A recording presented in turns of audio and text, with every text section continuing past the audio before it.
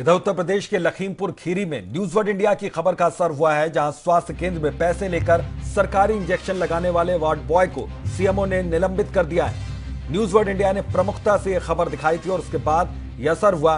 रुपए लेकर इंजेक्शन लगा रहा था एक कर्मचारी लखीमपुर खीरी में। ये देखिए, फिर ये तस्वीरें कैद हुई और तस्वीरें जब पहुँची सीएमओ के सामने तो निलंबित कर दिया गया ये कर्मचारी।